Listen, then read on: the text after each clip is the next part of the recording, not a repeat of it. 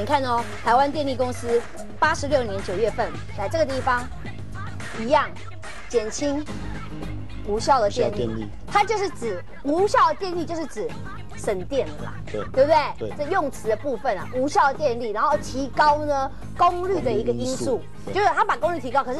减轻无效的电力，就是其实就是省电嘛。讲明白了就是省电。你看，我们电力公司、台湾电力公司都使用这套的系统。